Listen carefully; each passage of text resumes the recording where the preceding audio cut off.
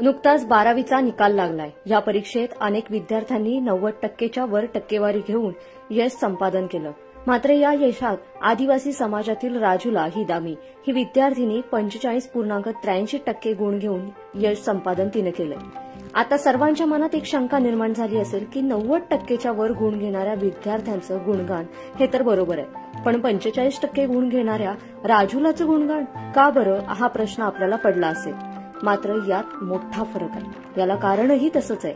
तर जाणून घेऊयात पंचेचाळीस टक्के गुण घेऊन बारावी पास झालेल्या राजूला हिच्याबद्दलची ही कहाणी. राजूला ही जहाल नक्षली असून तिने बारावीत यशस्वी विद्यार्थिनी म्हणून आपलं नाव कमावलं. तिच्या संघर्षाची ही कहाणी बंदुकीपासून पुस्तकांपर्यंतचा राजूलाचा हा प्रवास. राजूला ही मूळची गडचिरोली जिल्ह्यातील कुरखेडा तालुक्यातील अतिदुर्गम नक्षलग्रस्त भाग असलेल्या लवारी या गावातील रहिवासी असून तिला नक्षलवाद्यांनी जबरदस्तीनं आपल्यासोबत पळवून नेलं. तेव्हा राजूला ही अवघ्या पंधरा वर्षाची होती. तिचा नक्षली चळवळीमध्ये सहभाग झाला. या एवढ्या कमी वयात तिच्यावर सहा गंभीर गुन्ह्याची नोंदही झाली. राजूला त्या काळात गोंदिया आणि गडचिरोली परिसरातील जहाल नक्षलवादी म्हणून कार्यरत होती.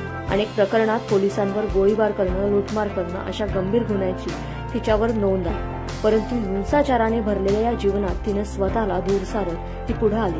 आणि त्यावेळेस असलेले पोलीस अधीक्षक संदीप आटोळे यांच्यासमोर तिनं आत्मसमर्पण करून शिक्षणाची कास धरली.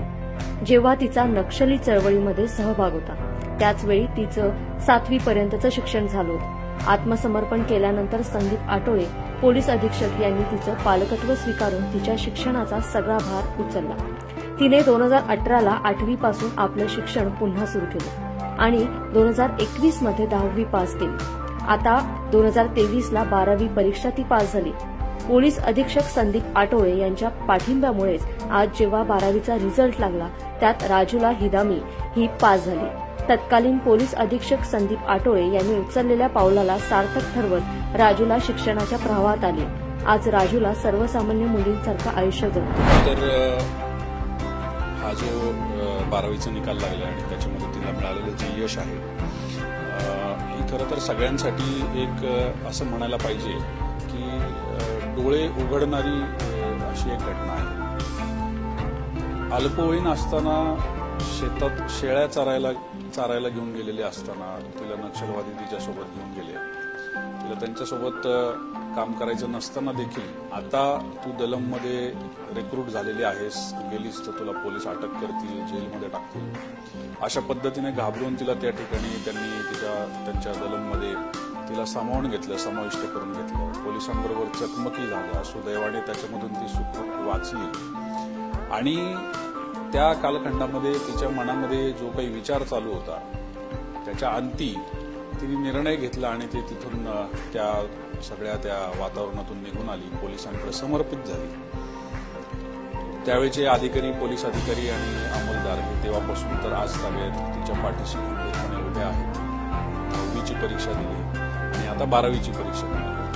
हे खरं तर खूपच एखाद्या चित्रपटाच्या कहाणीसारखं कथेसारखं जरी असलं तरी मला खात्री आहे की अशा अनेक मुली आणि तरुण मुलं या नक्षल चळवळीमध्ये अडकलेले आहेत गुरफटलेले आहेत.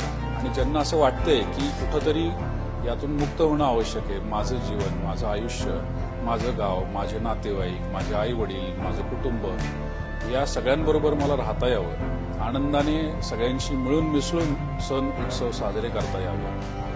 आणि माझ्या हाताच्या कष्टावरती या सगळ्यांना तो आनंद मी देखील देऊ शकतो. त्यांच्यामध्ये इच्छा असणार आहे. आणि म्हणून डोळे उघडणारी घटना हे प्रत्येकाने फक्त आपणच नाही या भागातले लोकच नाही.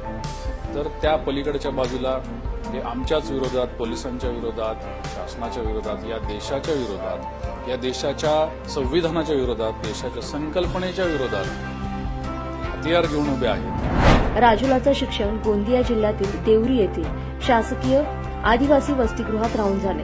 एवढंच नाही तर पुढे तिला भविष्यात पुढील शिक्षण घेऊन पोलीस सेवेत दाखल होण्याचा मानस आहे. एखाद्यानं ठरवलं तर त्याचं आयुष्य चांगलं होईल हे मात्र नक्कीच. लोकमतसाठी गोंदियाहून ओम प्रकाश सपाटे यांचा हा रिपोर्ट. हा व्हिडिओ तुम्हाला कसा वाटला आमच्या कमेंट बॉक्समध्ये नक्कीच सांगा. तसेच अशाच नवनवीन बातम्या पाहण्यासाठी आमचं लोकमतचं फेसबुक पेज नक्की लाईक आणि फॉलो करायला विसरू नका.